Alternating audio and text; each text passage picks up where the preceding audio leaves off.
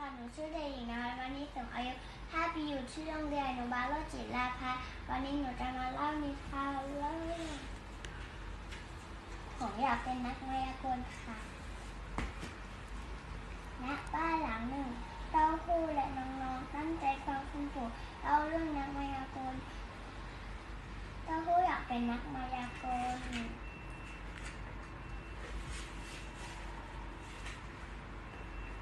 เป็นเรื่องใหม่ฝึกเรื่องใหม่ฝึกซ้อมคนต่างๆอยู่เสมอ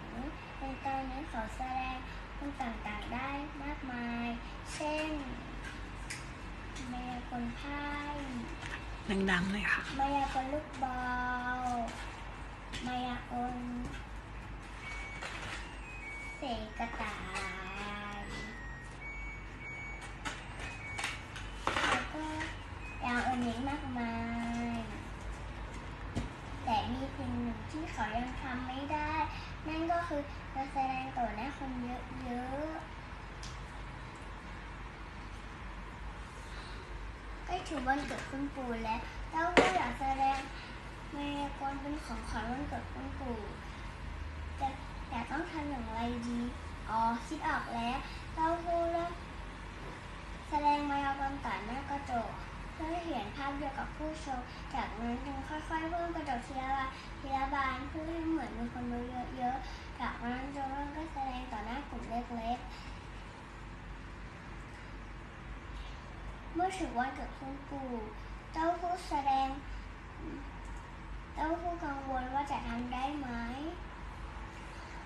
การแสดงเริ่มแล้วเต้าหู้ช่วงแรกๆก็มีติดขัดบ้าง แต่ก็ค่อยๆ ดีขึ้นดีขึ้น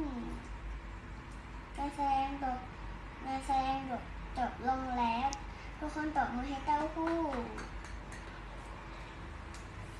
ตบมือให้เต้าหู้เต้าหู้ภูมิใจดีใจและภูมิใจมาก ที่เต้าหู้ทำได้